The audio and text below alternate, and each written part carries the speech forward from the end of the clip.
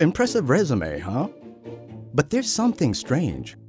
It says green pixel? Oh, green pixel, white pixel is just a detail. Detail? I can do a lot about the company image. Sorry, but white pixels can't get in here. UHD 4K TV with white pixels loses the image high quality. That's why in Samsung TV's UHD 4K line, white pixels doesn't get in. Samsung UHD 4K TV has way more colors and sharpness. Do the test and see the difference.